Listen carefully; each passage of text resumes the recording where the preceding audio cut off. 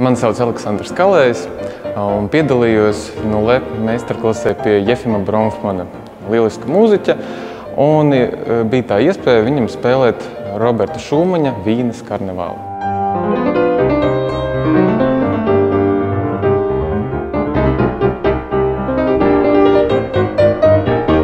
Tas, kā es teiksim, iepazinu netieši Jefimu Bronfmanu, ļoti labi atceros. Tas bija vairākus jau gadus atpakaļ ar viņa Brahms klavieru koncertu ierakstiem.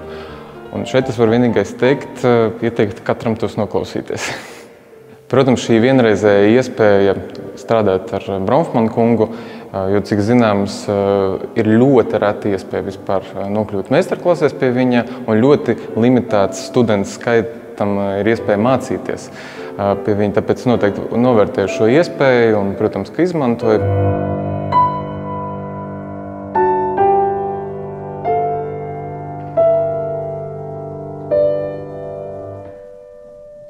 Es domāju, es noteikti paņemšu no šīm meistarklasēm vairākas lietas gan par skaņas veidošanu, gan par polifoniju romantiskajā mūzikā. Tas pasniegšanas stils, man liekas, ir ļoti līdzsvarots gan starp to filozofisko domu un kontekstu vispār šim skaņdarbam, gan arī to, ar kādiem tehniskiem līdzekļiem to var sasniegt.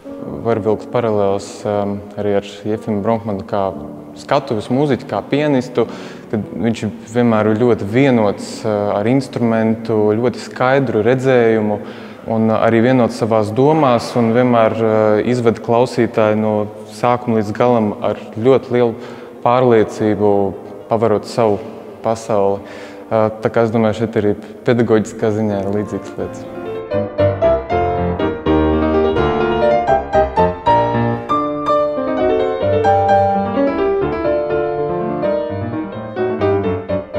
Jā, protams, tā ir unikāla pieredze. Šeit ir savi izaicinājumi. Es domāju, visiem, gan festivālam, gan pasniedzējiem. Rīga Jurmala komanda var lepoties ar to, kā tik galā ar šo izaicinājumu.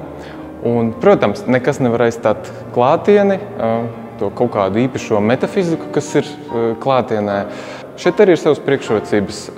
Nesalīdzinām daudz cilvēku var baudīt šis meistarklases, un tas ir fantastiski.